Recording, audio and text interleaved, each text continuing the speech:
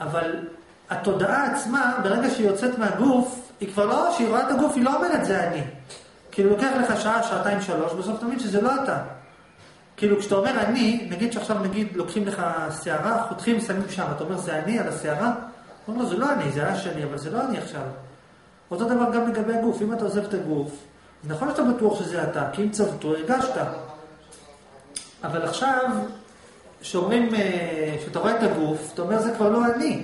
אז מה המשמעות שיגידו, אז מה המשמעות, מה המשמעות שיגידו לך שאתה בבית יד לבנים? אין לזה משמעות עבורה, כי זה כבר לא אתה. אין כבר את ההזדהות, התודעה כבר לא מזדהה עם הגוף, זה כבר לא היא בכלל. כשאתה אומר אני, אתה אומר, זה אני פה, אני לא שם. הבנת? לכן זה לא משנה, בכל מקרה אם אתה מת זה לא משנה. אלה שעדיין חיים עדיין מרגישים קשר לבן אפילו כשאומרים. אז בשביל מה הם עשו בעצם? מה הם נתנו? זה לא קשור זה קשור אליהם. רגע, שנייה, אז אתה אומר שהם רוצים לחשוב שהם נתנו לו משהו. הם לא רוצים, ככה הם מרגישים. כן. כי, כי הם כאילו, הוא אומר משהו אחר, הם מסתכלים עליו מנקודת מבטם. כאילו, הם אומרים, אם, הם אומרים כאילו חושבים שזה הם, כאילו חושבים שהוא מזדהה עם הגוף, אומרים, אה, אם הוא היה מזדהה עם הגוף, אז הוא היה, חושב, אז הוא היה רוצה שישימו עליו את השלט, אז ישימו עליו את השלט, אז כאילו עשינו לו טובה. משהו כזה. נניח, אוקיי, עוד משהו. דבר.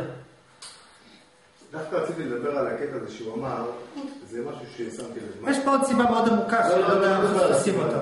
על זה שהוא, על השאלה. שהוא שאל, אני לא מבין. כאילו, מה ההיגיון? מה הרווח בזה? מה, זה נראה לי בדיחה. רק רגע, את השאלה הזאת, כי בעצם הבן אדם יכול לשאול את עצמו, למה אתה אומר, למה אתה בכלל חי? גם ככה אתה. יאללה. למה אתה אוכל? גם ככה תהיה רווח אחרי זה. למה זה? אז מצד אחד, זה... אבל פה זה היה יותר קיצוני. כן, אבל לא, אבל ההתבוננות היא היא- היא כאילו לחפש את הרווח, ואז אתה יכול לשאול את זה בעצם על כל דבר. כל מה שהוא בא להגיד, אם אתה, בעצם שאלת מה התכלית של הפעולה, הרי זה לא נכון כלום. מה היוקרה של זה? נכון, מה אתה נכון, רוצה? נכון, אבל, הוא אומר את אותו שאלה בעיקרון, אתה יכול לשאול על כל נושא בחיים. נכון. בסדר. עכשיו בואו תסבירו עוד דבר, נו, למה בכל זאת אתם רוצים? אולי כדי שזה יהיה איזשהו, אה, כאילו כל עוד זה לא כתוב, זה משהו שנשכח, או כאילו, זה ברמה של הזיכרון? מה זה נותן? כי הם רוצים לזכור, כי הם רוצים ש... אה? נותן ערך לחיים שלהם. מה זאת אומרת? למה? איזה ערך? כי זה שם טאג על הקיום של הבן אדם, שהוא לא ק- קיים פה לחינם. תסבירי.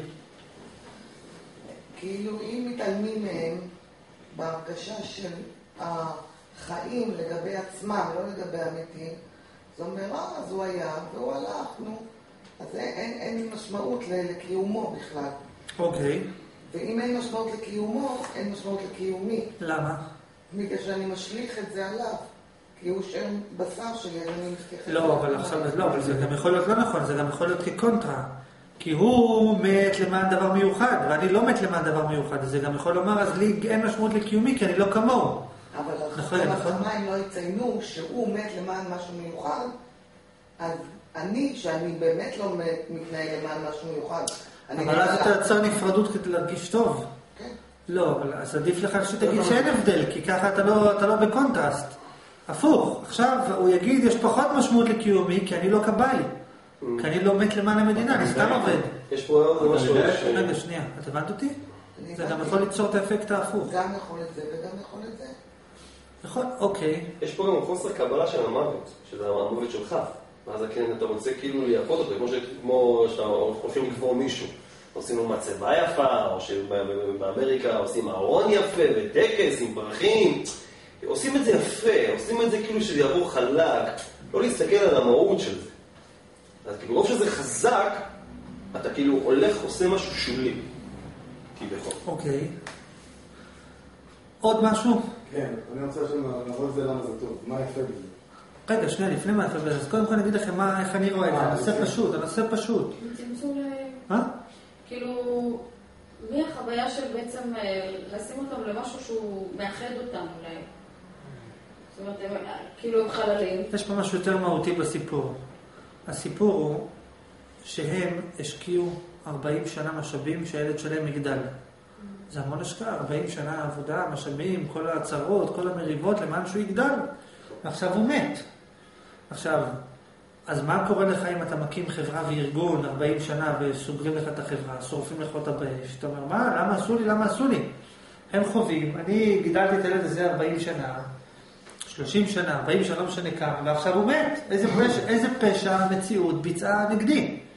אז מה אומרים לך? עכשיו, עכשיו הם לא מסוגלים לשאת את המחשבה שהילד שלהם מת. אז איך הם ממתיקים את זה? אומרים, לא, הוא מת למען מטרה חשובה. אה, אז הוא לא סתם מת, אז אנחנו יכולים להתמודד עם המוות. זאת אומרת, מבחינתם, הם לא, הם רוצים שאתה תכיר בו שהוא מת למען מטרה. הם לא מוכנים אם הוא סתם מת, כי אם הוא סתם מת, אז בשביל מה השקענו כל כך הרבה שהוא יחיה? שזה משליך על השאלה, אז למה אנחנו חיים בכלל? לא, הוא לא סתם מת.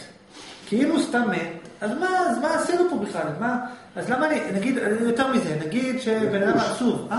זה פוש. כן, לא- זה מה שאתה אמרת, כי, אם זה רק מחזוריות, חי מת, חי מת, אז עכשיו אתה לא חי במחזוריות, אתה לא אומר לו זה סתם מחזוריות, לא, אתה מתאמץ, מתאמץ, מתאמץ, מתאמץ, ואז הוא מת. עכשיו אתה לא מסוגל לשאת את זה שהוא מת, קרה לך דבר מאוד רע. אז כשאומרים לך שהרע הזה היה למען תכלית טובה, זה כאילו אומר, אה, זה לא כל כך רע.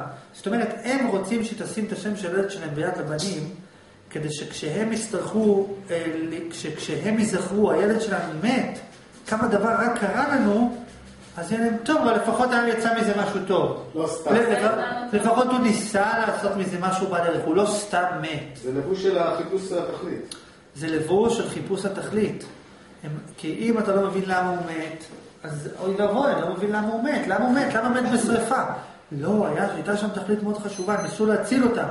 אז למען התכלית הזאת, אולי שווה למות. אתה מבין? זה נותן להם משמעות. זה נותן משמעות לסבל. הבנו את הנקודה? מה אתה רצית להגיד? כן.